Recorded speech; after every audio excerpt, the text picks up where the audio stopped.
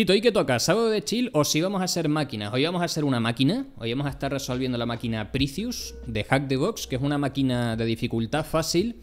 Pero bueno, vamos a aprovechar la ocasión para montarnos un script pepinaco ahí en Python para automatizar parte de la intrusión y bueno, jugar un poquito ahí con Python, que tengo ganas. Vamos a ver si tengo traza, la 10, 10, 11, 189, y en un principio sí, ¿no? Si os hago esto aquí, lo veis bien, ¿no? Que tenía esto, he vuelto a poner todo esto de los zooms y demás, que no sé si ayuda o... No sé si va un poco lento, es un poco extraño.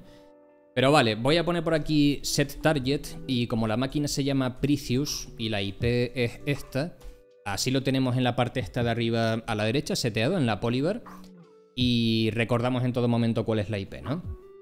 No te olvides del payload de Stodia. Bueno, ahora tendremos un montón de coñas con el Lobotech este. Vale, pues lo primero que vamos a hacer es, como siempre, crearnos un directorio que se llame como el nombre de la máquina, Precious. Nos vamos a meter y con MKT, que como es un formateo lo que le he aplicado hace poco al equipo, MKT no existe, pero bueno, lo creamos directo. MKDIR, simplemente me voy a crear mis directorios de trabajo, nmap, eh, content y ¿qué más poníamos? Exploits era, ¿no? Yo creo que con estos tres vamos que chutamos. Entonces, bueno, ahí te has creado tus tres directorios de trabajo. Voy a meterme en el directorio nmap. Y bueno, primero que nada vamos a ver si eso, si la máquina responde, que ya hemos visto que sí. Por tanto, aquí lo que vemos es que estoy enviando un paquete y ese mismo paquete lo he recibido de vuelta, ¿no? Por tanto, la máquina está activa, la máquina me ha respondido y gracias al TTL, que veo, veo que está muy cercano al valor 64, pues ya intuyo que estoy ante una máquina Linux Recordad que si estuviera más próximo a 128 que 64, mm, por lo menos estando en Hack the Box, que esto no va a cambiar, pues uno podría saber que está ante una máquina Windows en vez de Linux. Recordad que tenemos un script que es este, un script en Python. Si le hacemos un witch, ahí veis la ruta absoluta, forma parte del path, está en user bin. Y si tú a este recurso le concatenas un cat, para verlo un poco más, o bueno, o un eh, bad cat, ¿no?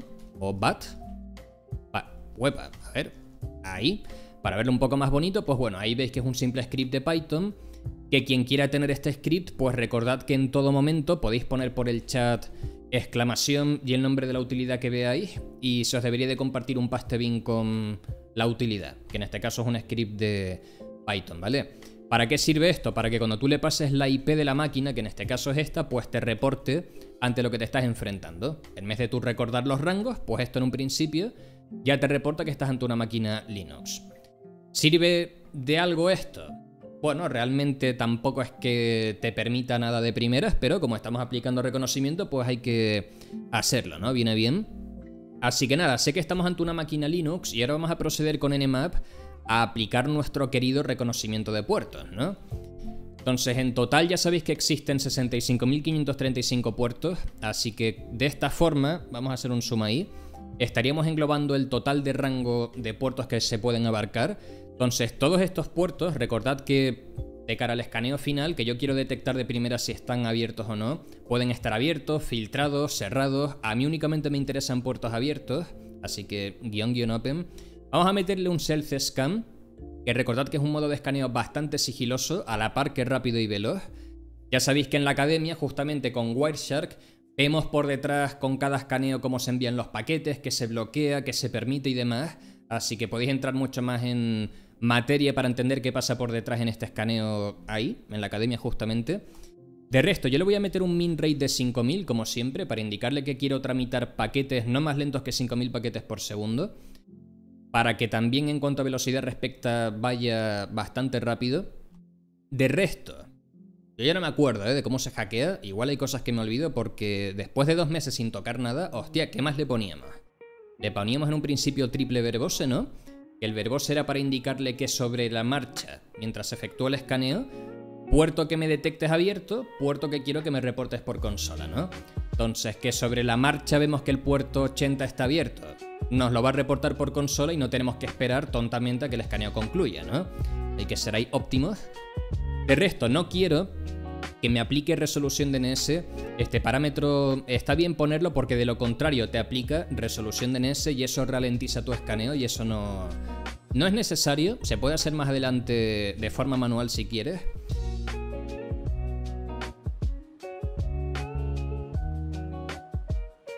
El resto vamos a meterle el parámetro menos pene. ¿Esto para qué era? No me acuerdo, ¿eh? Me vais a tener que ahí aclarar un poco las cosas porque ahora mismo no, no me acuerdo, ¿eh? Sé que esto se explica en la academia, este parámetro, pero ahora mismo estoy como un poco perdido. He tenido yo un lapsus. No será para... Oh. Oh. Y lo vamos a exportar todo, no sin antes poner la IP, eh, en formato grepeable al archivito que voy a crear por aquí, all ports, ¿vale? El archivo no existe, pero recordad que lo estaréis creando sobre la marcha. Así que bueno, vamos a exportarlo en formato grepeable. Ahí vemos ya los puertos que va pillando como abiertos, puerto 80 y puerto 22, y si no recuerdo mal creo que no habían más puertos abiertos, ¿vale? Por tanto, vamos a esperar a que esto concluya. Si le damos al Enter, ahí vemos la velocidad, ya está por concluir y listo.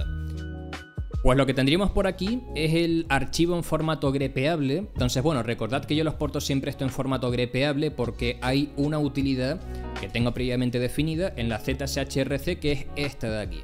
Que si lo queréis ver un poco más bonito, pues bat, bat-l bash, ahí está. Es esto, es un script de bash que tengo incrustado en la ZSHRC, porque yo empleo una ZSH. Pues esto qué es lo que hace, que si lo queréis tener, recordad, podéis poner exclamación y el nombre de la utilidad y se os va a compartir un pastebin con esto mismo que estáis viendo. Esto lo cómodo es que para capturas gripeables de nmap, como esta que estamos viendo, si tú le pasas a esta función este archivo, pues os parsea la información más relevante de la captura y los puertos que estén abiertos, pues os los copia todos en la clipboard, ¿vale? Entonces un control shift V y ahí están que hubieran habido 30 puertos abiertos, pues todos te los copia en la clipboard. Sabitar, porque a veces pones Xarx y a veces el comando directamente. Pues esta no será la canción de del violín, ¿no? Ahora venían violines. ¿O me suena? E, esta era la canción de los violines.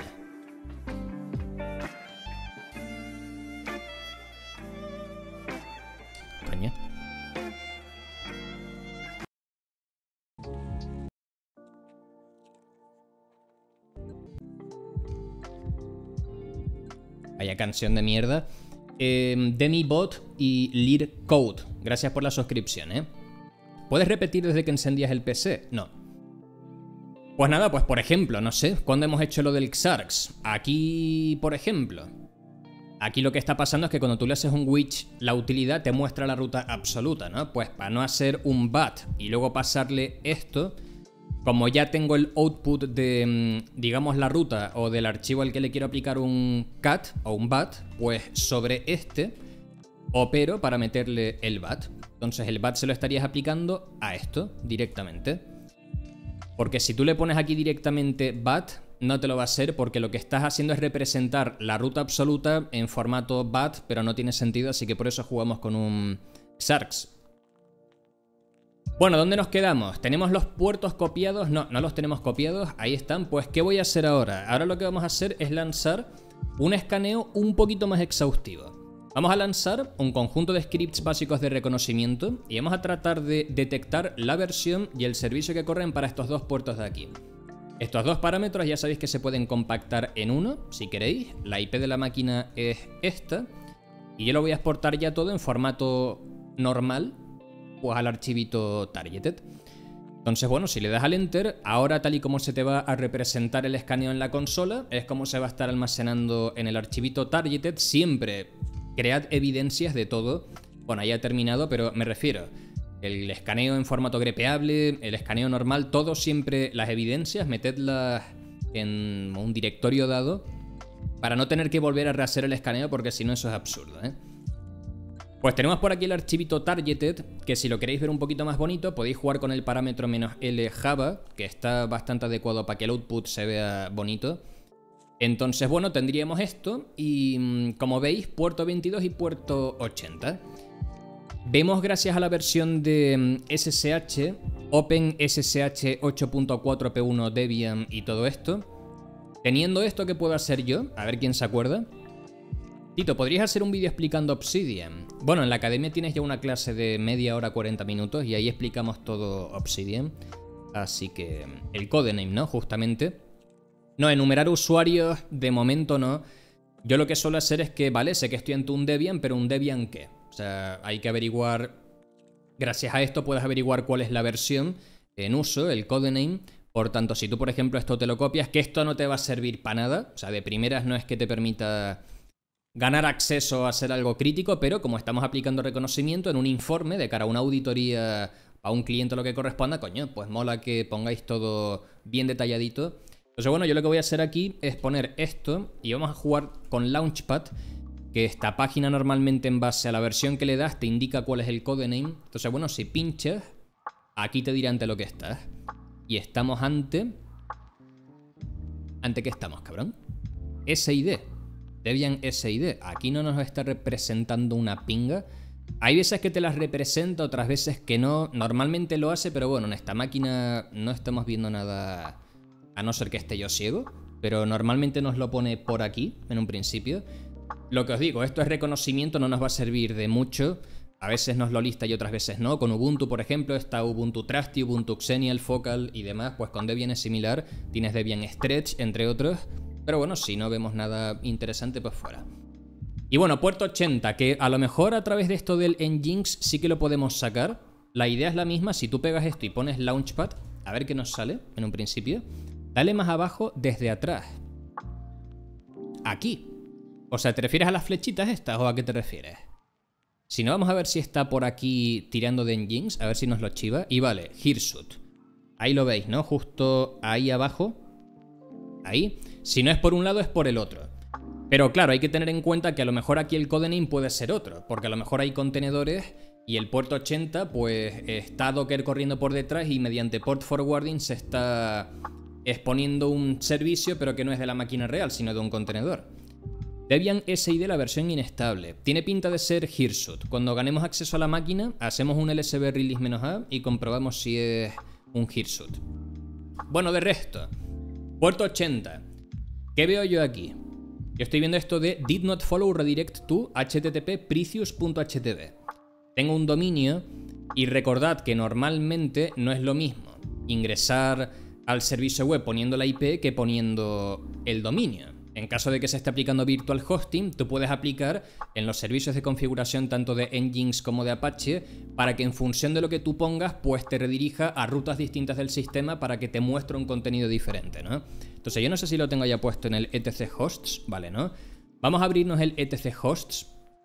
La, la, razón para el que no lo sepa es porque de primera, si tú le lanzas un ping a precious.htv, nombre o servicio desconocido. O sea, el sistema no sabe lo que es, por tanto tienes que contemplarlo.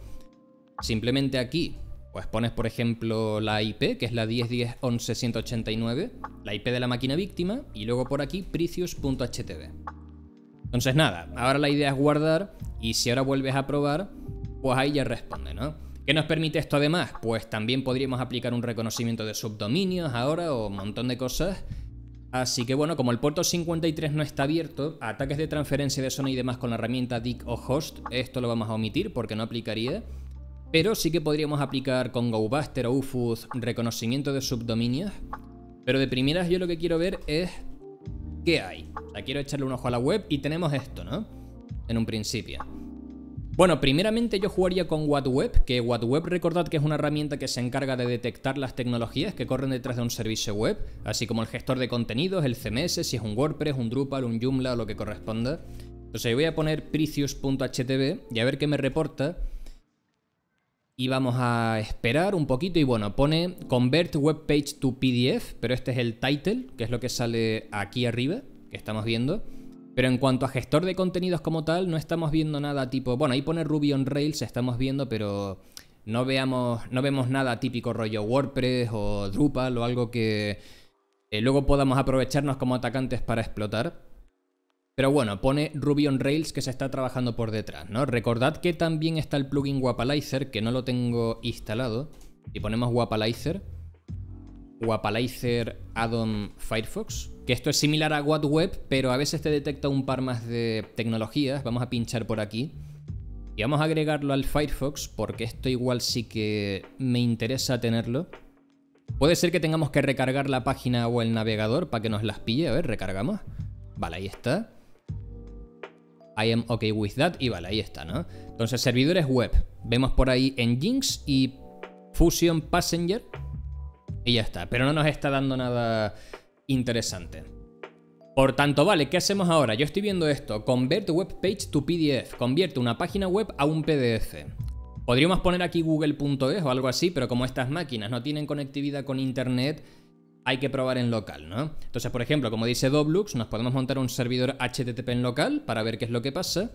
Por tanto, bueno, herramientas como Python mismo nos puede servir para, por ejemplo, montarnos un servidor HTTP por el puerto 80. Ahí ahora mismo tengo un servicio web operando por este puerto y si tú ahora, por ejemplo, aquí pues pones HTTP, tu IP de atacante, a secas, a ver qué pasa, submit, nos venimos para acá y tenemos un get. O sea que vale, sabemos que el servidor, la, ciento, o sea, la 11189 está tramitando una solicitud a nuestro servidor, ¿no?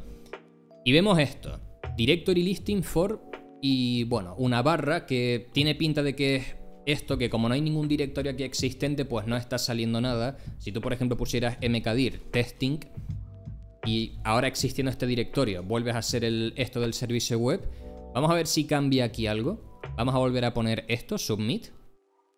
Y vale, ahí veis, ¿no? Testing y ahí está. Por tanto, bueno, esto está muy bien, esto está muy bien, pero mm, se podría probar un SSRF también, efectivamente, para aplicar un reconocimiento interno de puertos y demás. En vez de poner esta IP, podríamos tratar de poner aquí, por ejemplo, localhost. Entonces recordad que no es lo mismo los puertos que tú externamente como atacante ves que los que puedan estar internamente en la máquina abierta. Si hay un firewall o algo de por medio, puede hacer que ciertos puertos desde fuera no se vean, pero claro, haciendo la solicitud desde la propia web del servicio, de este servidor, contra sí misma, la máquina, digamos que el firewall ahí ya no entra en conflicto. Y puedes llegar a descubrir a veces otros puertos, por ejemplo, yo que sé, imaginaros que hay un puerto 80-80 abierto que corre un servicio web de un panel de administración. Si existiera, tú le podrías dar a submit y a lo mejor en el resultado pues verías la web. Pero bueno, nos pone que cannot load remote URL. O sea que igual están chapando la palabra localhost. Ya sabéis que hay varias formas de eludir esta restricción de bypassearlo, pero ya os digo que no aplica en este caso. Así que nada, vamos a tirar contra, pero buena aproximación, esa del SSRF. Así que nada, vamos a hacer una pruebita. Yo veo esto, ¿no? Es un documento PDF. Entonces, en la academia hemos visto las inyecciones látex, por ejemplo. Entonces, uno podría tratar de aquí probar un látex injection para ver si a lo mejor, aunque no tiene pinta mucho de ser látex, porque la fuente no sé yo, ¿eh? O sea, se ve calidad, pero látex tiene un poco más de alta calidad tipográfica, o sea, no está del todo qualité y se nota por la forma del documento un poco, pero podríamos descargárnoslo, por ejemplo, para ver qué es lo que hay. Entonces, por ejemplo, aquí tenéis un botoncito de download, pinchamos. Y bueno, mm, el nombre del archivo es un poco raro. Fijaros ahí que pone W2, parece un dominio de, estos típicos de, de Tor, de la Deep Web ahí, pero no es de .onion, pues bueno, PDF. Pero nada, yo lo voy a llamar de otra forma. Esto es una cadena aleatoria que no me dice nada, a mí por ahora, así que pdf.pdf. Vamos a darle aquí a Save. Y nada, con esto ya vamos a traérnoslo al directorio actual de trabajo para analizarlo un poco y ver de qué se trata, ¿no? Voy a borrar esto del testing. Entonces, por ejemplo, este PDF, que ya sé qué es lo que tiene a nivel de contenidos, ¿cómo lo podría enumerar? Yo quisiera extraer un poquito más de información o de chicha. Exif Tool, ¿no? Efectivamente, como dice NoHack, hay una herramienta que es Exif Tool que te permite recolectar los metadatos del documento y tal. Si le pasas el PDF, bueno, yo ahí ya estoy viendo algo que igual a mí como atacante, pues me llama. Podríamos ir investigando cosas me pone que el PDF ha sido generado por PDFKit y la versión 0.8.6. Por tanto, bueno, tengo este nombre, tengo una versión. Esto a nosotros como atacante nos interesa porque si la versión está desactualizada pueden haber vulnerabilidades potenciales. Entonces, primero que nada vamos a ver qué es PDFKit, aunque más o menos nos podemos hacer la idea. Entonces, bueno, PDFKit es una librería de JavaScript o JavaScript que nos ayuda a generar archivos PDF. Y listo.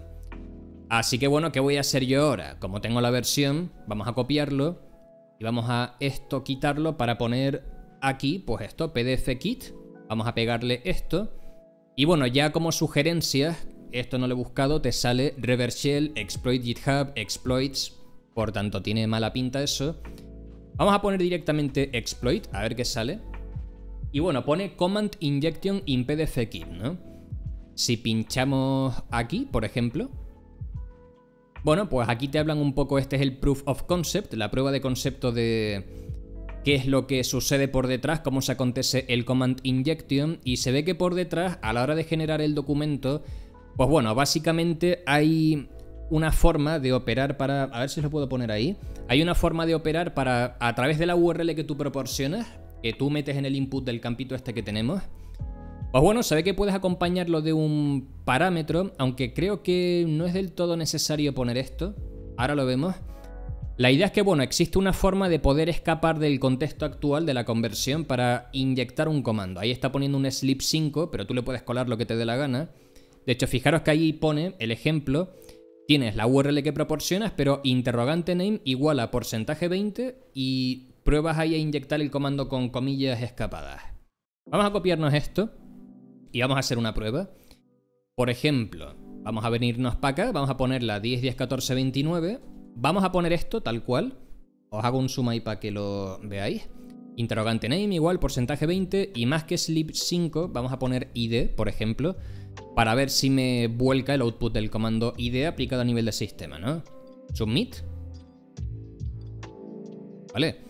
Puede ser porque yo ya he cerrado el servicio HTTP, así que vamos a volverlo a levantar y vamos a ver si ahora nos lo hace. HTTP, la 10.10.14.29 y esto otra vez, ¿no? Sleep 5 no, sino ID. Ahí está, submit.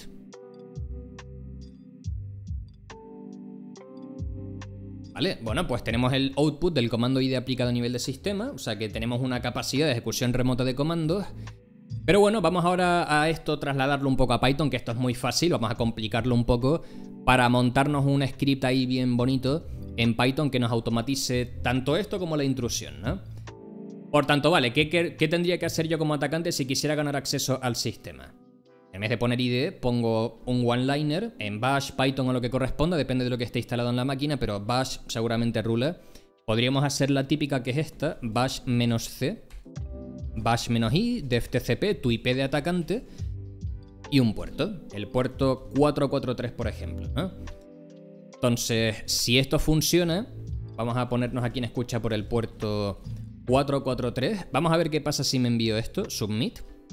Y bueno, fijaros que ahí estamos dentro de la máquina ya, ¿no? Si nos fijamos en dónde estamos, nos pone que estamos en la 11189, por tanto, estás como el usuario Ruby, ahora mismo estamos como Ruby, que es un usuario del sistema, habrán más, supongo.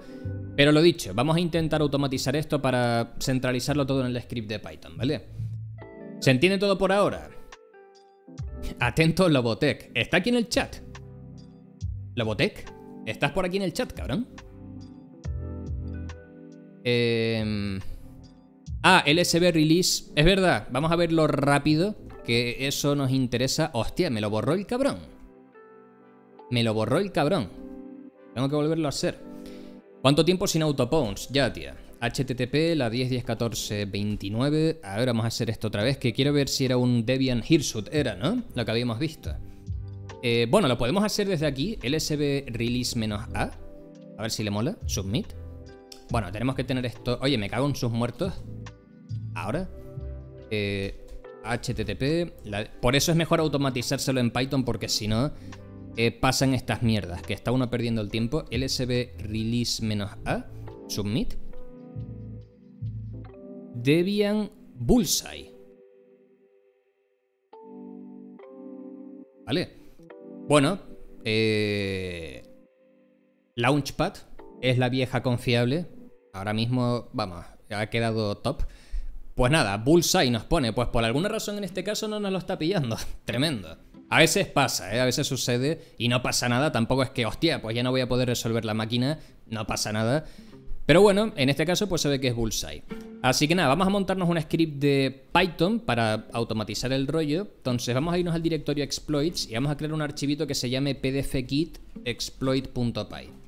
Entonces bueno, en este caso vamos a definir por aquí esto. Eh, vamos a importar la librería requests, porque lo que está claro es que si vamos aquí a estar tramitando peticiones, eh, la librería requests tiene que estar importada para poder realizar consultas, ¿no? Que es como lo voy a hacer con requests.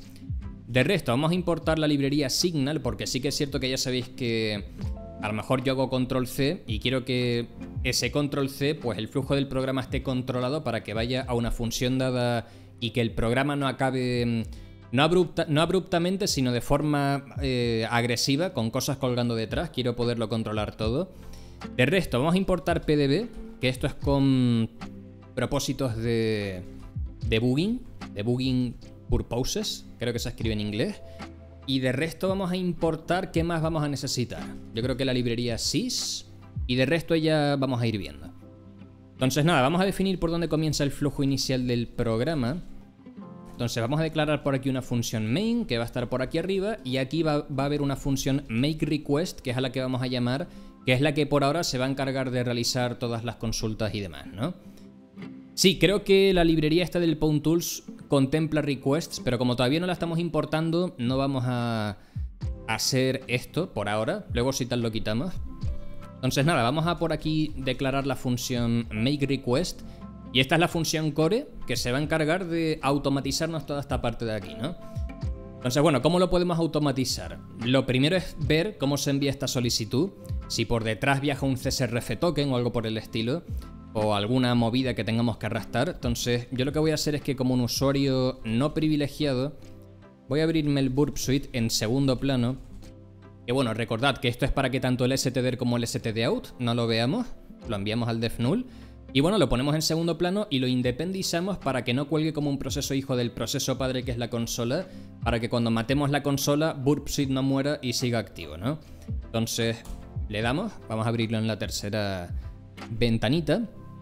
¿Alguna vez podrías hacer el autopon en otros lenguajes como por ejemplo en Go?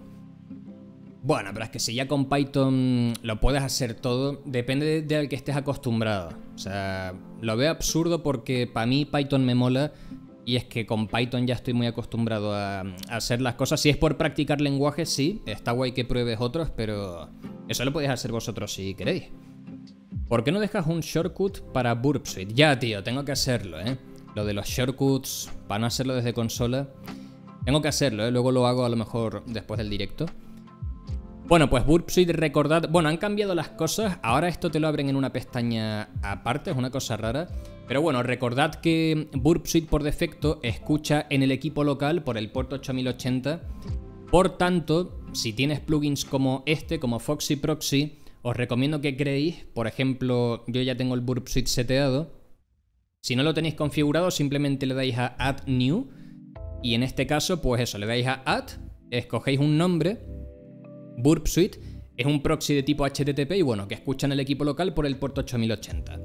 ¿Para qué se hace esto? Para que si ahora tú todo el tráfico lo pasas a Burp Suite, cualquier petición que tú hagas la vas a interceptar desde aquí.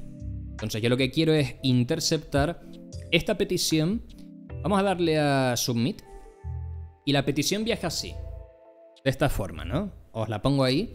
Todo esto está en URL encode. Si no lo queréis ver en URL encode, podéis esto seleccionarlo y hacer un control shift U para URL decodearlo. Y bueno, estamos de suerte porque de momento el único valor que se tramita es este parámetro, URL, con el campo correspondiente a la inyección donde se aplica el RC.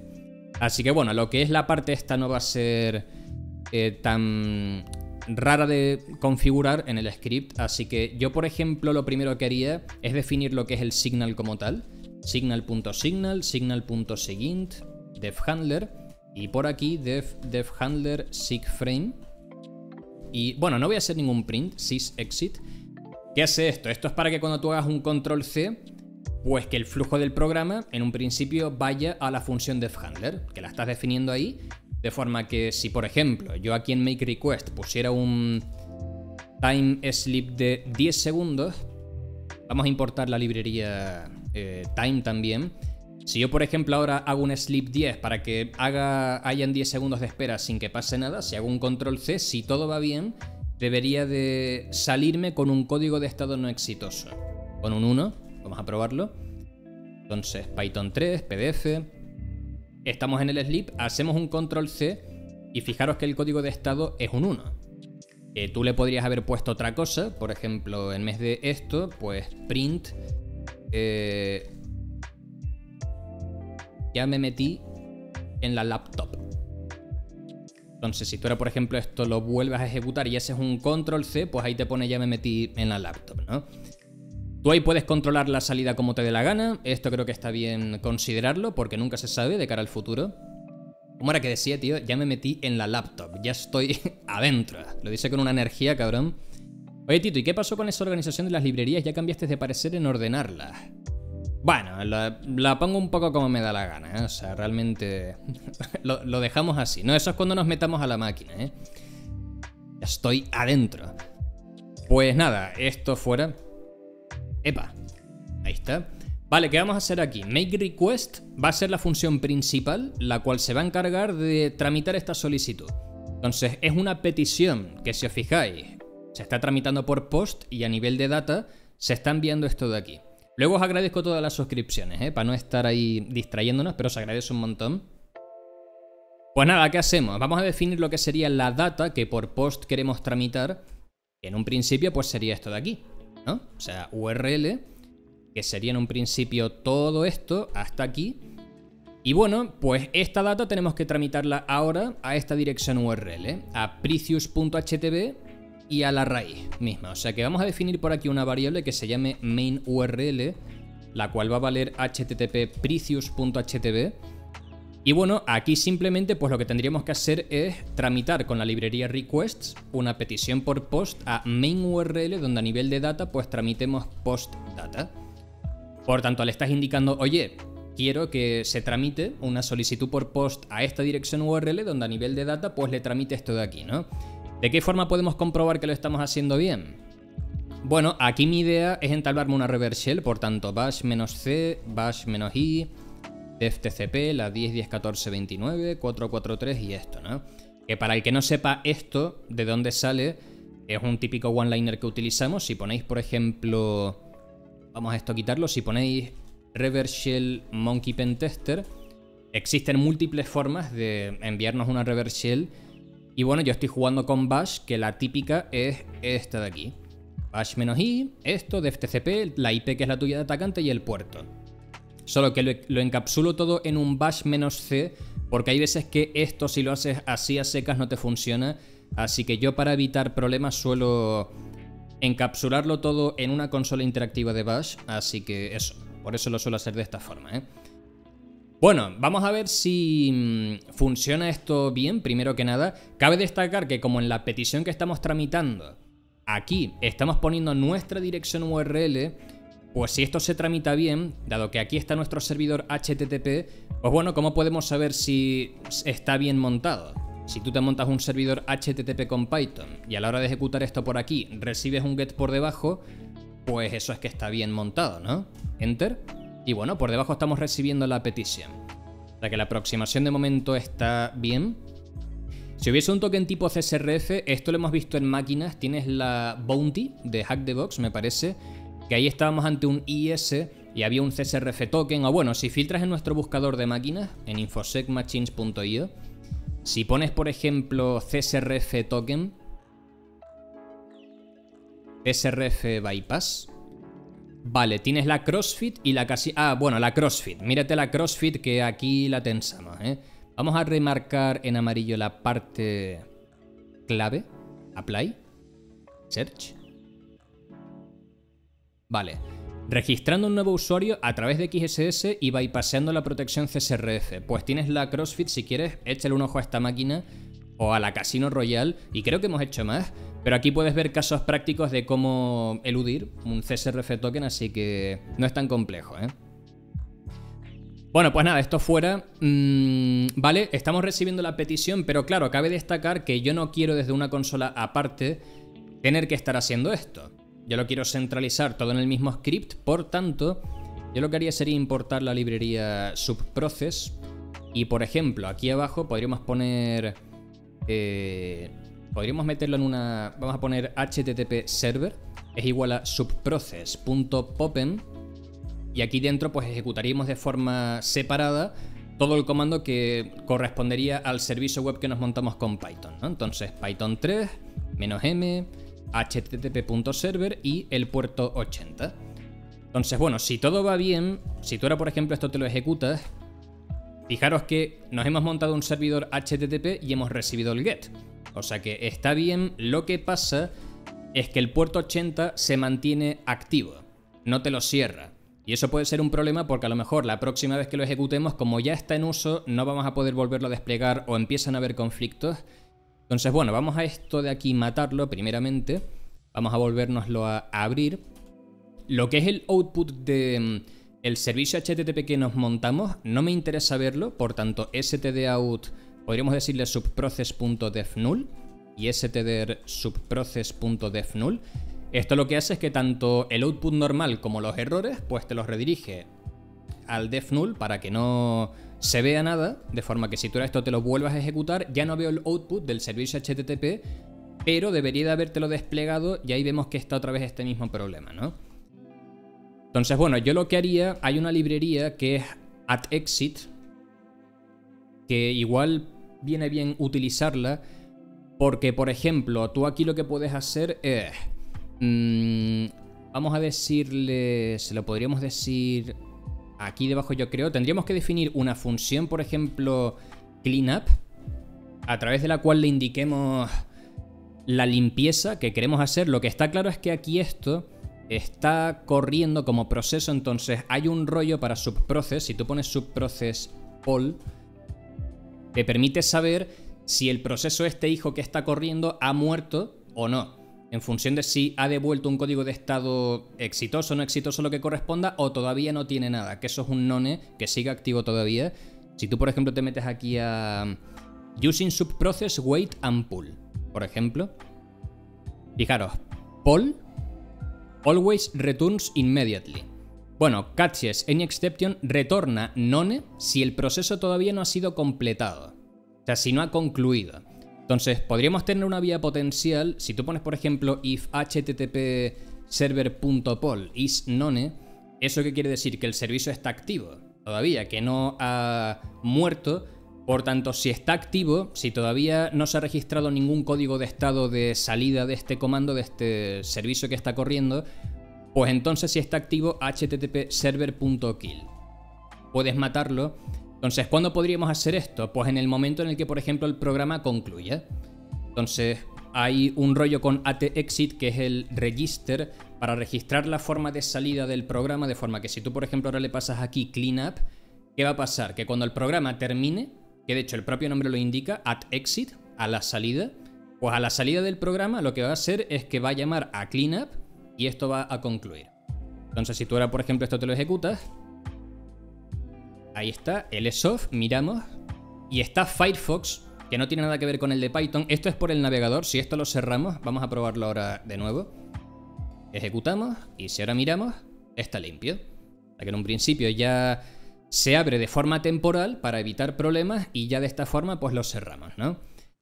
Entonces, bueno, ¿cuál es la idea ahora? Como la petición se tramita y estamos aquí aplicando la inyección de comandos que se va a encargar de permitirnos a nosotros como atacantes ganar acceso al sistema, lo que podríamos tratar de hacer es jugar con hilos, la típica que hacemos, import threading. Y bueno, vamos a importar también from pawn import asterisco. Que bueno, más que asterisco, como siempre jugamos con lock y con listen, podríamos utilizar simplemente estas para no cargarla toda, que igual eso es un poco absurdo. Así que nada, from pawn import lock listen y aquí lo que vamos a hacer es lo siguiente. Vamos a así tal crear unas barras de progreso, p1 log.progress, vamos a decirle eh, servicios. Esta es una barra de progreso que vamos a crear, que ahora vais a ver cómo se ve, y vamos a actualizar su estado a iniciando servicio HTTP sobre el puerto 80. Entonces, vale, eh, lo que vamos a hacer es que mm, aquí esto ya debería de estar montado. Igual vendría bien darle un tiempito no vaya a ser que de pronto vaya hacia adelante y el servicio todavía no esté montado y hayan conflictos, así que time sleep dos segunditos, si tal. Y podríamos tratar de comprobar si está activo o no. A fin de cuentas, Paul lo que nos registra es si el servicio está actualmente activo o no. Si es none, quiere decir que todavía no ha registrado un código de estado, por tanto eso es que está activo, así que podríamos decirle por aquí if http server poll is none, pues quiero que eh, me registres para esta barra de estado de progreso un success, que me ponga servicio iniciado exitosamente, o sea, servicio HTTP, HTTP iniciado exitosamente, y de lo contrario, si no es none, sino que tiene un valor, eso es porque el código de estado que ha registrado de salida es porque ya ha concluido. Por tanto, p1.failure o error, si tal, y podríamos poner ha habido ha habido algún problema a la hora de desplegar el servicio HTTP. Entonces, bueno, obviamente aquí quiero salir con un código de estado no exitoso y si tal para matar el servicio este HTTP, pues llamamos a cleanup, aprovechando que la función ya está por aquí arriba definida. Así que bueno, ¿qué pasa aquí? Pues lo que va a pasar es esto, tú esto te lo ejecutas, servicios, iniciando servicio HTTP, servicio HTTP iniciado exitosamente. ¿Por qué? Pues porque en un principio eh, eso no ha devuelto un código de estado de salida, el servicio te lo mata, todo correcto, pero bueno, tenemos un manejo ahí de posibles inconvenientes. Entonces, bueno, lo que vamos a hacer es lo siguiente. La idea es que tú tienes que estar, como siempre, en escucha por un puerto. Yo la reversión me la estoy enviando por el puerto 443, ¿no? Si tú, por ejemplo, desde una consola aparte te pones en escucha por el puerto 443 y esto te lo ejecutas, tú abajo vas a ganar acceso a la máquina, ¿no? Tiene sentido, ahí está, Huamai. Pero para centralizarlo, pues tú lo que podrías hacer es jugar con hilos. Entonces, como tenemos la librería trading importada, en paralelo, mientras tú estás en escucha, tienes que tramitar la solicitud para que te llegue la consola. Entonces, lo que podríamos hacer aquí es jugar con un try. Entonces, le puedes decir, tú me vas a intentar hacer esto del make request. Que de hecho esto tiene que ir por hilo. O sea, trading.thread, el target es este, que es una función la cual no va a recibir ningún argumento, es una función que es esta, make request, la llama sin argumentos y listo. Pues tú me vas a probar a hacer esto. Si hay alguna excepción, algún problema, exception, bueno, em, except, exception as e, a mí me suele gustar jugar con un identificador de la excepción para a nivel de string mostrar el error que se está aconteciendo, o sea que puedes hacer un log.error y convertir esa E a una cadena de texto para que te muestre de forma descriptiva qué ha pasado. Que yo creo que eso está bien para que si te peta algo te da problemas, pues te diga, oye, el problema que te ha pasado es este, y ya más o menos pues puedas, por propósitos de debugging, pues eso, más o menos hacerte la idea de qué está pasando. Si hay una excepción, pues llamamos a cleanup también y sysexit 1. Habría que refactorizar si tal un poco luego el asunto. Pero bueno, la idea sería esta y... Vale. ¿Cuál es la idea aquí? Tú por hilo ya estás llamando a la función makeRequest. Por tanto, como esto no se va a detener aquí, va a continuar hacia abajo, pues la idea es que tú por aquí ya tienes que estarte poniendo en escucha para que recibas la shell. Por tanto, yo voy a declarar una variable que se va a llamar leport, que va a ser el puerto 443. Y por aquí lo que vamos a decir es lo siguiente, vamos a decirle que shell es listen, yo me voy a poner en escucha por el puerto 443, un tiempo total de 20 segundos, en espera de que se entable una conexión, ¿no? Entonces, bueno, ¿qué pasa? Si yo detecto que hay un socket que se ha entablado para este, este valor de shell que he declarado, pues eso es que se ha entablado una conexión. Por tanto, dame una consola interactiva de ese socket que se ha entablado. Entonces ganas acceso a la máquina de forma interactiva, todo centralizado, Vamos a probar si esto funciona. Le estamos dando de margen un total de 20 segundos. Porque más, de hecho 20 ya es mucho. Pero vamos a probarlo. Entonces lanzamos, iniciando servicio HTTP. Y fijaros, ¿no? O sea, Huamai y ahí ya estamos como Ruby y lo tienes todo centralizado. Si haces un control C, vemos que nos pone... Mm, bueno, esto del control C, module trading from tal, esto creo que vamos a no escribir nada, un momento. Control C. Sí, el control C se queda un poco tirillado.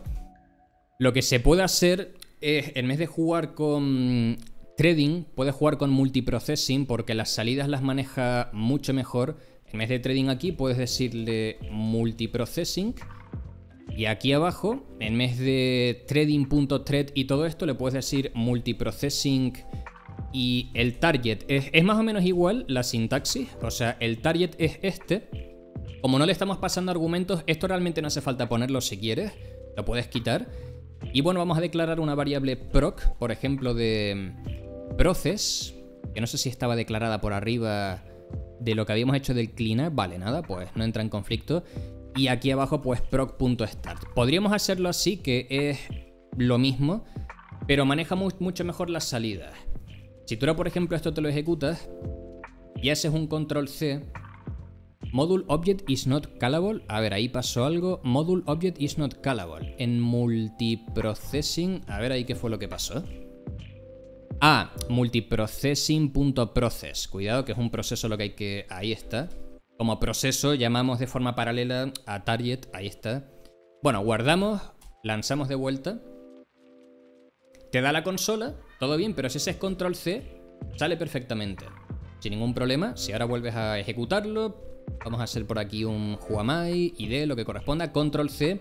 Sale de forma mucho más limpia, así que hay veces que en vez de trading puedes jugar con multiprocessing, si queréis. ¿En serio está grabado este live? ¿Cómo que está grabado, cabrón? ¿Estamos concentrados o no estamos concentrados? De momento se entiende todo. ¿O no se está entendiendo? ¿Cuál era la página eh, donde podías buscar los ataques y te aparecía en la lista de vídeos? Eh, puedes poner exclamación Machines, creo que era. ¿O cómo era? ¿Por qué con multi funciona y con trading no? Lo dicho, por las salidas. Eh, la librería trading a la hora de finalizar conexiones y demás no lo hace de forma muy abrupta y el multiprocessing mm, digamos que gestiona mucho mejor las salidas para evitar problemas de conexión. De hecho, también algo que se puede hacer es esto. Podríamos jugar con manejadores de contexto más que jugar de esta forma porque mm, si tú pones, por ejemplo, aquí... Eso igual también puede ahorrar problemas.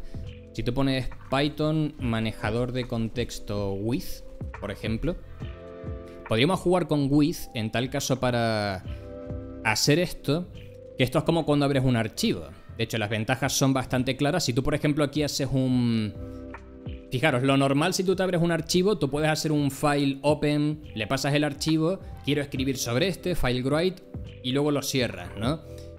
Pero bueno, con with, lo cómodo, aquí te dice, mm, eh, fijaros, with open está abriendo un archivo como opened file para poder a través de opened file pues operar sobre este, pero lo bueno es que no lo tienes que cerrar, porque esto de forma automática te limpia eh, y te cierra cualquier tipo de proceso que esté abierto, aquí creo que te pone... Mm, la principal ventaja del uso de with es que se asegura que el fichero se cierra sin importar lo que hay en el bloque de código. Entonces, como estamos trabajando con conexiones, si quieres asegurar que la conexión concluye y no hay problemas, en vez de esto, podrías hacer un with listem lport timeout 20.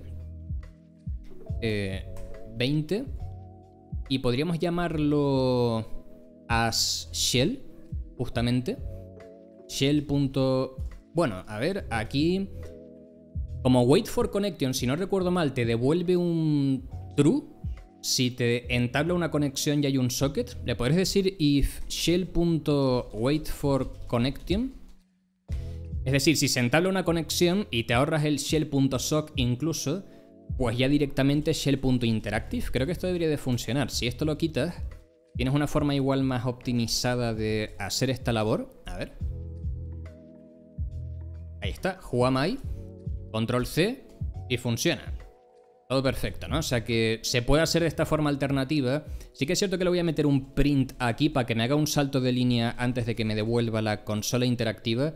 Para que me despegue un poco la consola. Ahí este salto de línea. Y vale, ahí lo está haciendo, ¿no? Bueno, para practicar un poquito de Python vamos a convertir todo esto a una clase. No una clase de la clase que estamos impartiendo, sino una clase de Python para poder con métodos y tal, pues definir un método room que nos haga todo esto y estructurarlo todo de forma más organizada con clases y tal.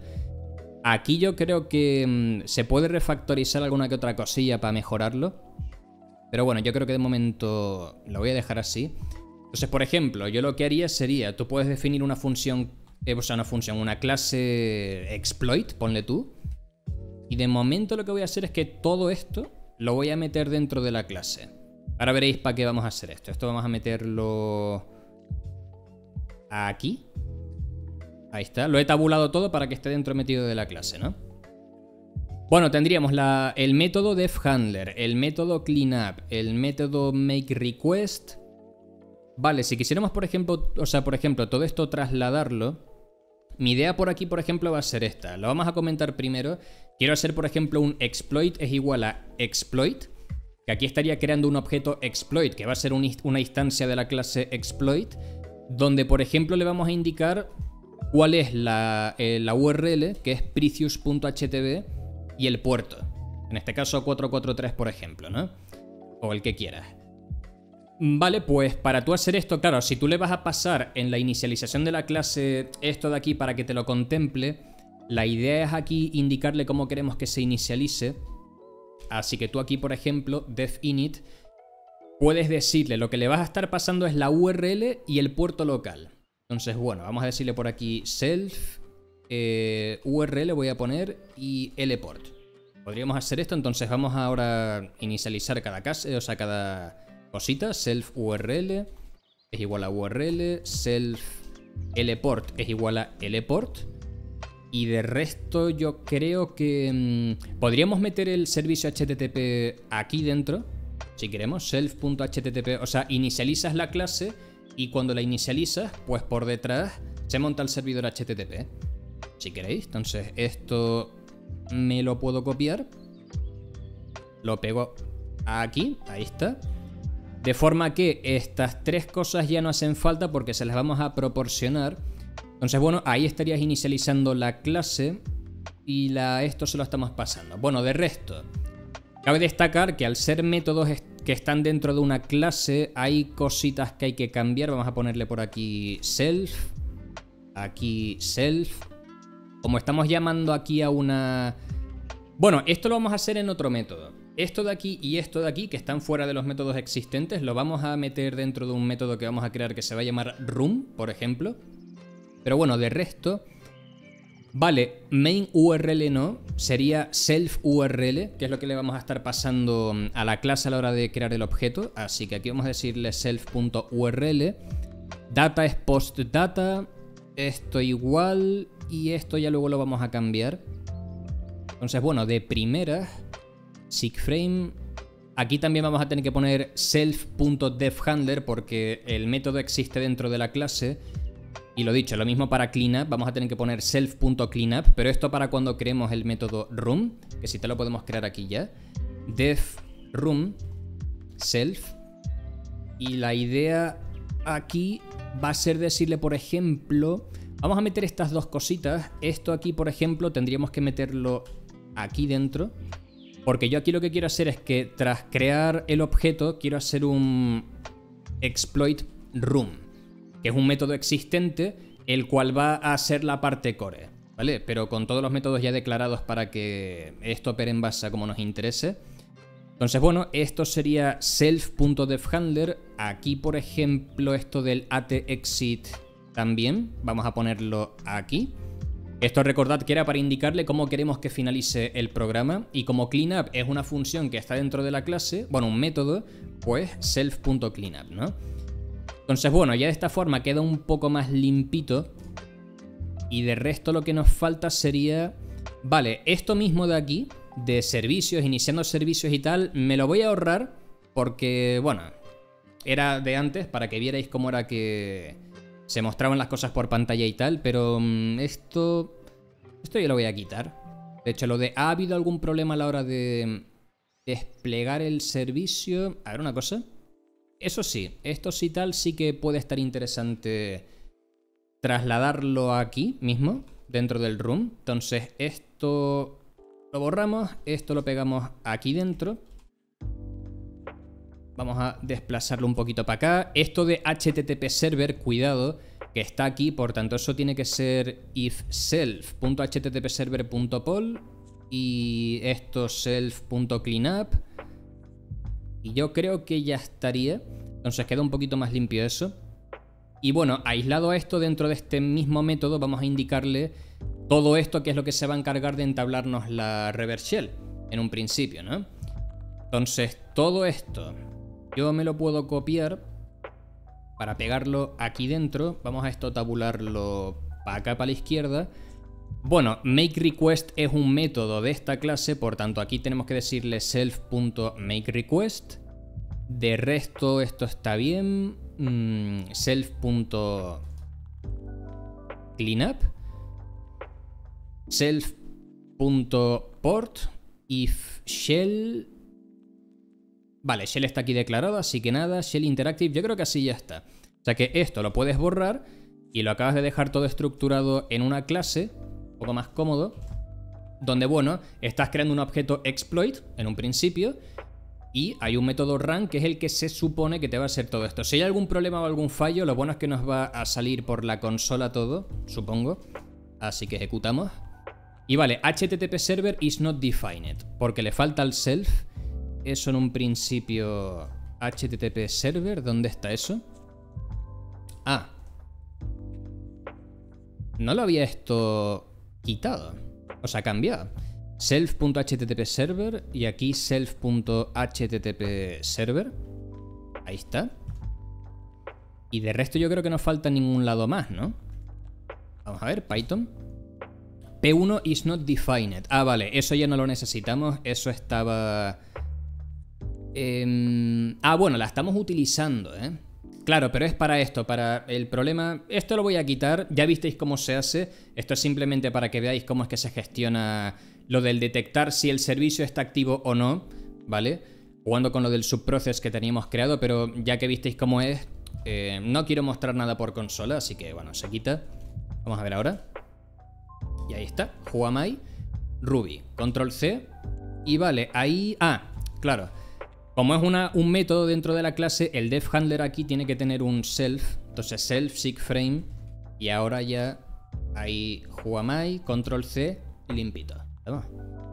Eh, ¿Dónde aprendiste Python, Tito? Me enseñó Lobotech. Me enseñó Lobotech, que es un alto hacker de la Deep Web. ¿Vale? Así que bueno, se pueden hacer mejoras en el sentido de que, por ejemplo, ya que estamos montando un programita para practicar, le podemos meter, por ejemplo, parámetros. Yo suelo jugar con arcparse para eso. Tú puedes, por ejemplo, aquí jugar con import arcparse. Y esta es una librería. Antes creo que era optparse o algo así, pero cambiaron las cosas. Y nada, con arcparse yo creo que es más cómodo gestionar el panel de ayuda, todo esto. Ahora vais a ver cómo es que se gestiona la, la vaina. Lo que voy a hacer es que voy a declarar... Bueno, esto no lo he explicado. Para el que no entienda o no haya mm, jugado con clases nunca y tal, que como veis, cada método tiene self, self, etc. Bueno, esto de self es como una forma de hacer alusión al propio objeto que creas durante la instancia de la clase.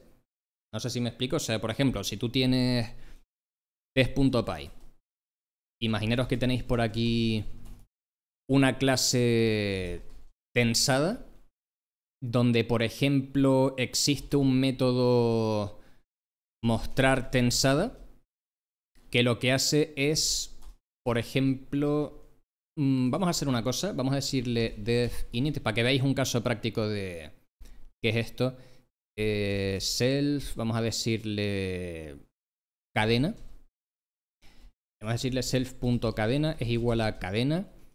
Ahora vais a entender ¿Qué es eso del self que se ve en tantos lados? Self. Y vale, aquí vamos a mostrar la tensada que sería self.cadena. Entonces, si por ejemplo tenéis por aquí if name main, main, y aquí main. Si tú, por ejemplo, ahora en el main creas un objeto, o sea, tú, por ejemplo, aquí es donde vas a crear un objeto, le dices, mi objeto es igual a tensada y le estás pasando una cadena que se va a llamar probando. Si tú, por ejemplo, ahora haces un mi objeto punto mostrar tensada, si tú haces esto, ¿qué te debería de demostrar? La cadena probando, ¿no? Porque para este objeto el atributo cadena pues vale probando. Si tú ahora esto te lo ejecutas, por ejemplo, python 3 test.py, my object is not defined. ¿Cómo? My object, ¿dónde puse? Ah, mi objeto. Ahí está, perdón. Pues volvemos a ejecutar. Mi objeto. Me cago en la puta. Objeto. Es que entró Lobotech y me he puesto un poco nervioso. Eh, objeto. Ahora. Vale, me sale probando, ¿no? Oye, ¿y la música?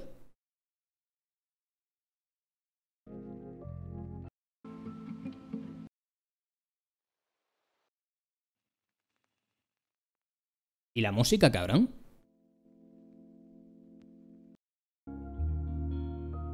Ahí. Bueno, está muy alto, ¿no? Eh... Ahí. Vale, pues ¿qué está pasando aquí? Para que lo entendáis un poco, ¿por qué se pone self todo el rato aquí en todo momento? Porque tú realmente, cuando creas un objeto, en este caso mi objeto, ¿no? Que tiene sus eh, atributos, sus métodos y tal, realmente aquí, por ejemplo, cuando tú haces esto de eh, mi objeto mostrar tensada, lo que estás haciendo es realmente algo como esto. Estás haciendo tensada, punto que sería la clase, tensada, mostrar tensada, mi objeto. O sea, a lo que nos referimos con esto de que self hace alusión al atributo que corresponde a la instancia correspondiente de la clase creada, es porque realmente tú al hacer esto, de mostrar tensada, esto de self hace alusión al objeto correspondiente que tú has creado para la instancia dada. De forma que quieres que te muestre lo que vale la cadena esta, bueno, el atributo cadena, pero para este objeto únicamente que has creado. Por eso tienes que poner self aquí, por eso en, todos los métodos normalmente ves siempre el self, la alusión al self para cambiar los atributos. Si yo, por ejemplo, tuviera un método, cambiar tensada, y aquí, por ejemplo, le digo que mm, cadena es igual a otra cadena, por ejemplo, pues fijaros que, o bueno, vamos a poner cadena manipulada. Fijaros que si yo, por ejemplo, creo otro objeto, mi segundo objeto es igual a tensada, y vamos a poner, bueno, cadenoncia, por ejemplo, y ahora hago por aquí un... Mi, mi segundo... Mi segundo objeto, ¿no? Punto, mostrar tensada, pero lo manipulo, o sea, hago lo de mi segundo objeto punto cambiar tensada, cambiar tensada, se están retocando objetos distintos en un principio. Objeto de nuevo, otra vez. Objeto, coño, ahí está. Pues aquí lo que estarías haciendo con esto de cambiar tensada, gracias al self, que hace alusión en todo momento al atributo que tú le pasas de la instancia que has creado, claro, esto haría alusión a la clase tensada, al método cambiar tensada, pero gracias al self, pues mi segundo objeto es el objeto que se está cambiando. Entonces, mi segundo objeto. Entonces, claro, de esta forma es como que Python se las apaña para saber en todo momento qué atributo de qué objeto es el que estás cambiando entonces, si tú ahora, por ejemplo, muestras lo que vale mi segundo objeto, en vez de cadenoncia, va a valer cadena manipulada. Si tú ahora, por ejemplo, luego mostraras lo que vale eso, mi segundo objeto manipulado, cambiarte, o sea, mostrar... Ah, no, perdón, ya le hemos cambiado y la estamos mostrando, ¿no? Sí. Pues de cadenoncia debería de poner cadena manipulada.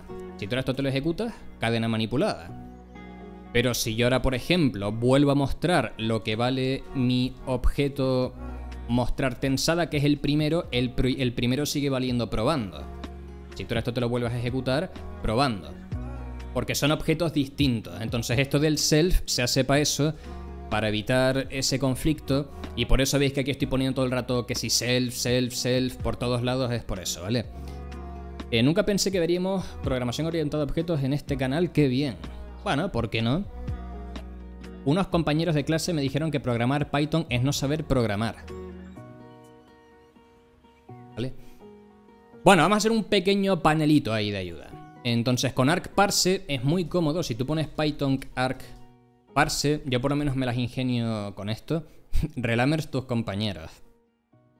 Bueno, si tú te metes aquí, por ejemplo, fijaros, es muy cómodo porque mm, bueno, importas arcparse. Aquí tú declaras lo que sería lo que hace el programa como tal, su descripción. Por ejemplo, yo suelo declarar aquí una función que se llame getArguments. Esto ya es fuera de la clase. ¿eh? Tú haces esto. Entonces, más que process_some_integers, vamos a poner... Em, si nos vamos al directorio content, exif tool, teníamos esto, ¿no? PDFKit, versión, todo esto. Es un exploit para esto. O sea que tú puedes poner PDFKit esta versión, exploit, y si tal aquí RC para saber qué es. O sea que ya tienes la descripción del programa hecha. Pues bueno, tú ahora definirías lo que serían los parámetros a la hora de ejecutar el programa, ¿no? O sea, ejecutas el programa, guion guion URL para indicarle la URL y guion guion LPort para indicarle el puerto. Pues lo cómodo es que tienes esto, que está bastante bien, solo que yo lo suelo pegar todo aquí. Entonces, por ejemplo, tú aquí puedes indicar las dos formas en las cuales quieres representar el parámetro a contemplar. Por ejemplo, tienes el parámetro menos U o también tienes el parámetro menos menos URL. Esto de metavar y tipo y narcs se puede poner, pero yo lo voy a quitar. Lo cómodo es que pa, en vez de como solemos hacer a veces eh, contemplando los argumentos para decir, vale, si estás proporcionándole, como hacemos en Bash, si estás proporcionándole mm, eh, un argumento en vez de dos, es que estás ejecutando mal el programa, empiezas a meter ifs y todo esto. Te puedes ahorrar todo eso porque aquí tienes un campo required donde por ejemplo si le pones true, este parámetro es requerido, es obligatorio ponerlo para poder ejecutar el programa. O sea, tú te desentiendes ya de, hostia, tengo que contemplar si el usuario pone X parámetros tal, tú te desentiendes de esto porque ya esta forma de organizarlo o de estructurarlo pues va a ser que cuando esté mal ejecutado el programa te muestre el panel de ayuda. Que ni tienes que tú programarlo, te lo hace automático y ya veréis cómo es que se ve. Entonces, por ejemplo, si el parámetro URL es para la URL, pues proporcionar dirección URL eh, a explotar, por ejemplo. Y así, o sea, a la misma vez vamos a crear otro parámetro mm, P para el puerto que corresponde pues al puerto en escucha por el cual yo me voy a poner. O sea que vamos a ser dinámico, el que el usuario pueda escoger, por ejemplo, el puerto este de aquí por el cual te vas a poner en escucha. Y como tú a la hora de inicializar la clase le pasas el puerto, lo recibes como argumento y lo incrustas aquí. O sea que ya queda todo súper más cómodo hecho. Entonces bueno, ahora veréis cómo es que se ve. Aquí por ejemplo está... Esto no sería proporcionar dirección URL, vamos a decirle proporcionar puerto para la reverse shell. Y aquí, por ejemplo, si quieres, lo que puedes hacer es, más que esto meterlo en una variable y mostrarlo, puedes retornar esto o sea, return, retornas esto para que así desde aquí args sea get arguments y como esta función te devuelve todos los argumentos que le, está, que le estás pasando, pues ya en args tú por ejemplo aquí, en vez de 443 puedes decirle args. Y claro, ¿dónde te lo almacena? Pues eso se lo indicas aquí, con la variable dest. Le puedes decir, por ejemplo, en una variable con nombre lport, me vas a meter el puerto que el usuario está especificando, por ejemplo. Y aquí, pues con una variable llamada URL o main URL o lo que quieras, pues me vas a meter lo que el usuario especifica en el campo de la URL. Entonces tú aquí ya puedes decirle args.lport y aquí puedes decirle args, que es lo que estás retornando, .url. Entonces ya de esta forma, em, fijaros, si tú esto por ejemplo te lo ejecutas, ya te monta el panel de ayuda, si pones guion guion help, fijaros que ya te pone PDF Kit versión 0.8.6 exploit. Tienes el parámetro U, proporcionar dirección URL a explotar, y parámetro "-p", proporcionar puerto para la reverse shell. Te monta ahí toda la descripción y puedes decirle, por ejemplo, ahora menos U, http, precious.htb, menos P y el puerto 443, por ejemplo, ¿no? Enter y ahí está con esto, pues Huamai y ya te la hace. Si quieres poner la IP, pues parámetro menos i, o si quieres contemplar otras cosas, pues ahí eso lo puedes ir gestionando de tu lado. Sí que es cierto que el puerto en el cual nos entablamos la reversión, la idea es que coincida, así que vamos a aquí decirle self.port. Bueno, self.lport, que es lo que se está aquí declarando en, la inicialización de la clase, en un principio. Entonces, bueno, si tú ahora, por ejemplo, cambias de puerto y le dices, quiero entablarme la reversiel por el puerto 7575. Ejecutas y ahí te entabla la reversiel. Control C, ahí ya... Lo que puedes hacer también, que no lo estamos haciendo, es a la hora de tramitar la solicitud, detectar errores también. O sea, try, haces esto y except... Em, aquí me parece que era request.exceptions.algo. para manejar posibles problemas que hayan. A lo mejor el servidor no está operativo o la consulta falla, pues para manejar esa excepción, si tú pones Python eh, requests.exceptions. algo, creo que era r request no sé qué, o, a ver. Esto, request exception as e. si hay algún problema de algo, que también aquí tienes, por ejemplo, para timeouts. Si tú defines un timeout en esa petición que tramitas, pues si se ha demorado más de X segundos y el servidor no ha respondido, pues manejar ese error también, o muchos redirects, o puedes controlar ahí todo lo que te dé la gana. Yo simplemente aquí lo que quiero hacer, que de hecho cuando hay un error... Ah, no, bueno, sí, lo teníamos contemplado. Pues eso, lo que podemos hacer aquí es que en este tipo de excepción, si a la hora de intentar hacer la solicitud ha habido algún problema de algo, pues aquí simplemente lo que quiero que me pongas es un log.error y que me pongas, por ejemplo, ha habido un error de tipo y que ahí me metas, vamos a poner esto así, formateado, vamos a poner e, porque como este tipo de excepciones las estamos controlando con el para, bueno, con la variable e que estamos aquí declarando, pues ahí ya nos va a poner ha habido un error de tipo y el error al lado. Pero bueno, a efectos visuales no va a pasar nada porque está todo funcionando correctamente, así que bueno. Nada, esta es la intrusión. Ahora vamos a por la parte de la escala de privilegios. Todo esto es opcional, ya sabéis, no es necesario, pero... A mí me gusta practicar con este tipo de cositas y es como os tenéis que acostumbrar a operar, siempre os lo he dicho. Y sudo menos L. Sí, ahora, ahora lo probamos. Cámbiale el puerto a tu netcat para ver. ¿Qué, cómo? ¿Pasarás el script por Discord? Eh, sí, podemos pasarlo si queréis. El canal de scripts lo hemos borrado, pero podemos volverlo a crear, ¿eh? Sin problema. Claro, pero por ejemplo, si el exploit lo va a usar otro usuario y tuviera que proporcionar su IP, bueno, sin problema, coño. Si queréis que la IP sea dinámica en ese sentido, como aquí coincide y aquí coincide, lo que tienes que poner es un parámetro más. Vamos a esto, copiárnoslo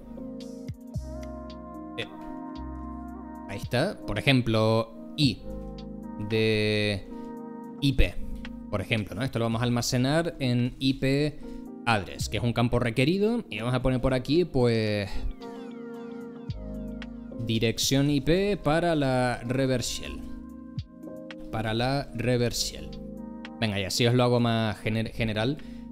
Pues nada, eh, lo que está claro es que tú ahora, a la hora de inicializar o crear la instancia de la clase, vas a tener que pasarle también lo que le has proporcionado, que ambos son campos requeridos. Por tanto, si tú pusieras, por ejemplo, required false, puedes tomar un puerto por defecto. Por ejemplo, el puerto 443 o el puerto que corresponda. Pero si tú lo proporcionas, puedes cambiarlo, pero que no es necesario. No, no hace falta que a la hora de ejecutar el programa pongas el parámetro menos "-p". Bueno, tú le puedes pasar esto ahora la dirección IP. Entonces, bueno, aquí simplemente vas a recibir IP address, que vas a tener que hacer la misma historia, self.ipaddress es IP address. Y bueno, pues cambiarlo aquí. O sea, sería tanto aquí, un atributo de la clase, self.ipaddress, y aquí también pues poner la IP. Entonces, self.ipaddress. Entonces, bueno, si tú esto te lo ejecutas mal, vamos a poner solamente, por ejemplo, la URL. Fijaros que ya nos dice, oye, que tienes que poner también el parámetro menos "-p" y menos "-i". Cuidado. Entonces, bueno, si lanzas por aquí el panel de ayuda, pues ya ves que menos "-i" es para la dirección IP de la reverse shell. Así que aquí podrías decirle menos "-i", tu IP de atacante y el puerto que te dé la gana, 9898, le das al enter y ahí ya te la entabla. ¿Por qué borraron el canal de scripts? Nada, porque como estuve dos meses sin hacer directo, pues lo borré. Pero bueno, en verdad... Ahora luego lo creamos y os paso todo el script. Bueno, ¿se entendió esta parte? Muy chulo, ¿no? Pues esto es lo que tenéis que probar a hacer siempre cuando hagáis eh, una explotación web. Y nada, vamos ahora a hacer la escalada de privilegios. Em, le dio el toque y lo borró. Totalmente, ¿eh? Sí, muy chulo todo. Bueno, eso se llama auditoría web. Bueno, aquí estamos haciendo mm, un ejercicio de pentesting, o sea, estamos explotando una vulnerabilidad real y bueno, simplemente lo estamos adaptando a un script de Python y, listo. Tito, este script sirve para hacer el Facebook de mi ex. Sí, justamente, tío. El curso de Python será desde cero, Tito, ¿sabes? Sí, sí, claro, el curso de Python contemplará para que todo esto pues lo entendáis, veremos muchos casos y demás, así que sin problema. Em, no vengo en mucho tiempo y ya sabiendo en una mansión. Sí, sí, una mansión, buah, una locura, ¿eh? Yo soy Data Scientist y también estoy aprendiendo grande Tito.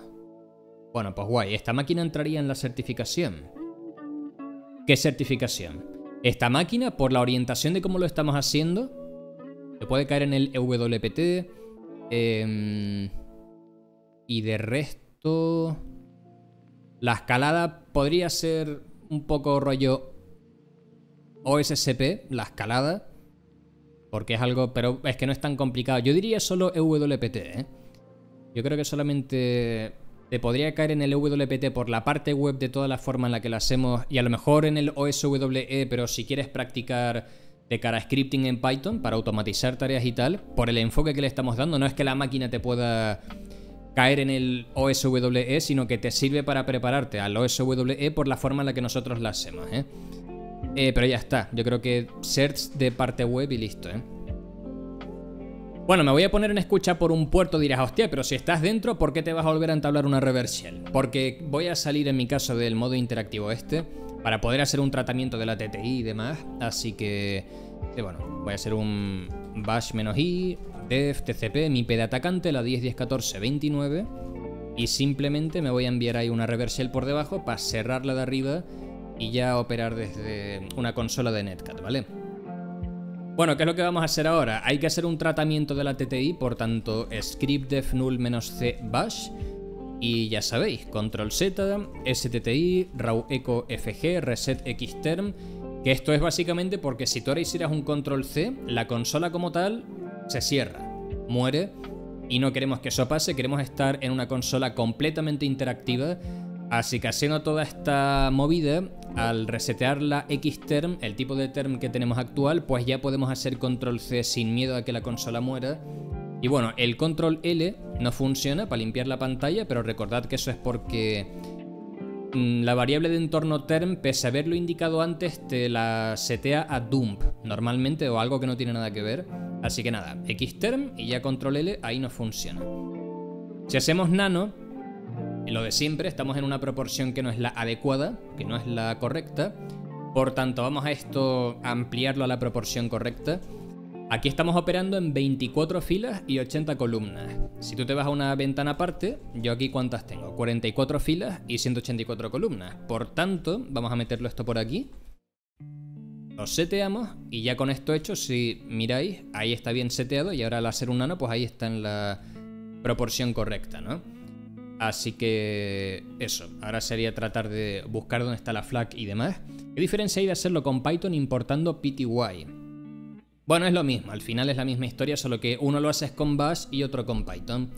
Si ves que script no está instalado o por alguna razón no te funciona, puedes hacer el import pty, pty.spawn bash. Y esta es otra forma de, si le das al enter, pues fijaros, estoy en otra TTI DevPTS1 y aquí estoy en la DevPTS0, te abre otra consola y listo. puedes hacerlo así, hay más formas de también, hasta con AWK puedes lanzarte una shell. Así que eso, eso con el comando que veis que está instalado lo hacéis y no hay ningún problema. Hola Tito Sabi, estoy ya por la parte de SQL Injection del curso de Hack4You y creo que deberías de linkear dentro de la clase el vídeo que tienes de SQL Injection desde cero en YouTube. Es un complemento de la hostia y me está ayudando casi más que la propia clase a entender los conceptos un besi de Fresi. Eh, no, pero mola más la de la academia porque ahí las creamos nosotros. O sea, en el vídeo de la academia no compares porque en el vídeo este de YouTube jugamos con PortSwigger, pero es que en, el, en la academia como tal creamos todo el script por detrás en PHP que se vincula con la base de datos, lo scripteamos todo y los ejemplos son los mismos. Los casos son los mismos y hasta comentamos mucho más tips y utilidades. Por tanto, es mucho... Complementa, eso sí, pero es más completa y extensa la de la academia. ¿eh? Eh, pero se refiere a conceptos quizás sirva. En la academia contemplamos todos, ¿eh? O sea, hemos tocado las... Ah, bueno, te refieres por las que son... Eh, sí, cuando hay Postgres por detrás o hay un Oracle o cosas distintas a MySQL. Sí, en ese aspecto sí que se contempla. Pero es que en el curso de Hacking Web que saquemos, ahí sí que vamos a hacer todos los de Portswigger. O sea que ahí ya lo veremos todo y estará en la academia directamente. Así que bueno, vamos a buscar dónde está nuestro querido archivo con nombre user.txt. Y ahí está, Henry user.txt. Pero yo siendo Ruby, lo más probable es que este archivo, pues eso, solamente el, bueno, el propietario es root y el grupo asignado es Henry. Los grupos pueden leer, pero otros no pueden hacer nada. Por tanto, tiene pinta de que yo no voy a poder leer este archivo. No estoy en el grupo Henry como tal, así que nada. Vamos a buscar desde aquí por archivitos que hayan existentes. Y bueno, ahí vemos que está el usuario Henry, Ruby, que somos nosotros. A lo mejor nosotros tenemos algo interesante. Y bueno, veo por ahí un archivito con nombre config ya. Los archivos con nombres config, pues normalmente suelen tener chicha o cositas interesantes. O sea que esto igual interesa verlo, a ver qué es lo que hay. Y bueno, fijaros que ahí van del HTTPS tal, Henry y la contraseña de Henry, ¿no? Por la cara, en un, archivo de configuración del bundle este. Así que podríamos probar a hacer un su Henry. Pegamos esto. Y bueno, y fijaros que Huamai Henry y ya estamos como Henry y podemos visualizar la flag, ¿no? O sea que guay. Si esto lo quisieras incorporar al script de Python, lo que puedes hacer es que antes de obtener la shell interactiva, puedes hacer un shell.sendLine su Henry, esperas un poquito y luego puedes enviar sendLine la contraseña de Henry para ya estar como Henry. Entonces, si tú ahora, por ejemplo, haces un Python 3 y otro puerto, el 1212, fijaros que Huamai Henry y ya estarías como él. O sea que puedes ahí controlar todas las acciones que quieras desencadenar y demás. Y bueno, pues ya con esto ahora mm, sería ver un poquito este usuario que tiene a nivel de privilegios y demás. Entonces bueno, fijaros, puedo ejecutar como el usuario Henry, o sea, como el usuario root sin proporcionar contraseña, en un principio, pues esta operatoria. User bin Ruby, puedo ejecutar como root este script de Ruby, que lo primero que hay que hacer es ver si podemos escribir o alterar su contenido pero el propietario es root y otros solamente pueden leer y ejecutar. O sea que no puedo alterar el contenido. Vamos a echarle un ojo a esto a ver qué es lo que hace. Y a ver si encontramos algún punto ahí de tensada. Y bueno, yo ya lo estoy viendo. ¿Qué sería? Es chistoso, pero en entornos reales si pasa encuentras las contraseñas en un fichero. Pues sí, tal cual, tío. Mm, al final era un Debian SID, era un Bullseye, ¿no? Creo que era LSB... ¿LSB? release-a, Bullseye, Debian Bullseye. IML. Henry tiene varios discos conectados en la mesa. Fíjate atrás, Tito. A ver, deja que le eche un ojo. Es una persona que tiene varios discos duros conectados. Bueno. YAML. YAML.load. Cabrón. Si pones aquí yaml.load danger, bueno, loading dangerously by YAML and safety by design, bueno, avoid dangerous file parsing, Digamos que la forma esta de cargar o de procesar el archivo dependencies.iml, que además no está indicado a nivel de ruta absoluta, o sea que si yo lo ejecuto desde cualquier ruta va a intentar leerlo de, la ruta actual en la que estás, esta forma de procesar los datos no es la más correcta, ¿eh? En la academia, justamente, en el curso de introducción al hacking, tenemos contemplado eso. Si ponemos YAML, tenemos esto aquí. Python, ataque de deserialización YAML. Es una clase de 10 minutos. Ahí, por ejemplo, os lo voy a poner así. En esta clase vemos en qué consiste un ataque de deserialización tirando de YAML y abusando de esto. Así que si queréis entrar un poco más en detalle y ver en qué consiste, pues ahí os lo explicamos todo. Y bueno, básicamente esto está de una forma expresado que no es la más correcta, la más oportuna porque puede acontecerse una vía de inyección de comandos en el sentido de que, por ejemplo, aquí está intentando cargar un archivo dependencies.iml, ¿no? Si tú haces un sudo "-l", hemos visto que podemos ejecutar como root esta operatoria. Si yo hago un sudo y esto, ¿qué me sale? No existe el archivo o el directorio dependencies.iml, ¿no? ¿Por qué? Pues porque este archivo, fijaros que lo está cargando de ninguna ruta. De donde estés, yo estoy aquí en Home Henry y es que aquí no está. Si tú lo creas, o estás en Tembo o en cualquier otro directorio, si yo pongo dependencies. Eh, a ver, dejad que le eche un ojo. IML, sí, touch dependencies.iml. Si tú ahora vuelves a hacer esta operatoria, fijaros que ahora ya no me salta ese error, o sea que me lo está interpretando con el YAML.load. Y ahora, claro, ¿qué es lo que hay que hacer? Pues bueno, tú podrías tratar de crear un archivito que a la hora de procesar el contenido del archivo con el YAMLoad, pues acontezca la inyección de comandos. Si tú, por ejemplo, pones yam.load, eh, bueno, esto mismo a lo mejor sale, o podríamos poner, como es un archivito YAML, YAML file, y poner remote code executing. Remote code execution in YAML.load, eh, breakman scanner, blind remote code execution. Fijaros, I noticed YAML files with archivos YAML YAML and Remote Code Execution. Hay varias cosas. Vamos a meternos en esto, por ejemplo, para ver si a la hora de deserializar los datos del archivo se puede tensar de alguna forma para inyectar un comando. Bueno, aquí básicamente el señor, el caballero, te comparte una prueba de concepto a través de la cual, pues bueno, está metiéndole por aquí un sleep 600. O sea, está creando un archivito IML, el cual de ser procesado, pues gracias a esta estructura que descubrió, Aquí te explica más o menos cómo fue que estuve investigándolo y demás, pues le cuela un Sleep 600 para que tarde 10 minutos creo que es en responderte, ¿no? Pero tú aquí le puedes colar el comando que te dé la gana. Entonces podríamos probarlo. Si tú, por ejemplo, todo esto te lo copias, vamos a crear el archivito este, dependencies.iml. Vamos a en vez de un sleep 600 meterle, por ejemplo, un id.